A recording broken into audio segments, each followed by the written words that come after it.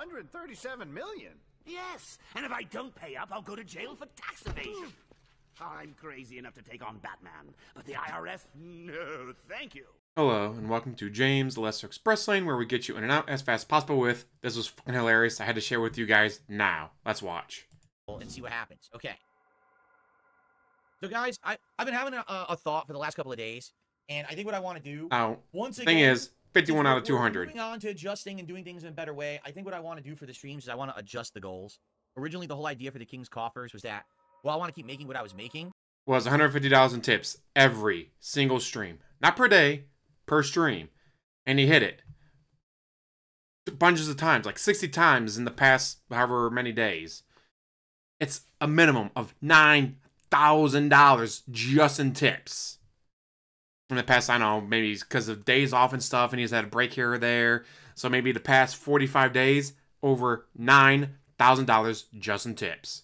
And more super chats in August than he had in June and July combined. But it's obvious that that was overinflated. So I think that And he just got that paycheck from August on the 21st of September. we're kind of going to go back to what it used to be. Or the 23rd because 21st Not was not the the weekend. goals, but the overall goals. I was thinking we should do the 150 again. Hey, today is the 25th, so yeah, two days ago. Two days ago, he got his massive fucking check from YouTube. we're going for previously for tips, but instead of it being just tips, we will include everything, but it'll still just be the 150 that we were doing previous. So now everything that you do to contribute counts towards it. It's an easier goal to hit than the previous goal, right? I'm not saying that we're going to hit it. I'm seriously not. Like, I know we're not going to hit it this stream, but I just think that makes more sense. You know, before it was like, well, why'd you make it 200? Well, because I was getting super chats and 150 in tips every day. I don't want to screw myself. Well, guess what? Now we're not making nearly that at all. So why have an overinflated goal? I think we'll, we'll adjust it God, without Kino Casino to save me, I can't make any money. and it'll probably work better for everybody. All right. That's what we'll do. We'll do the 150 like we were doing, okay? And it'll include everything super chats, super stickers, and tips. Sound good?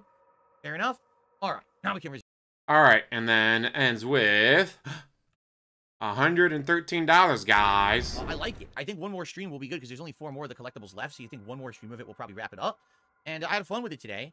Now that we actually got stuff going crazy here, you know, actual killers coming after you and stuff, it's actually gotten a lot better. So I'm excited now. So even lowering the goal, including super chats and super stickers, couldn't hit the goal.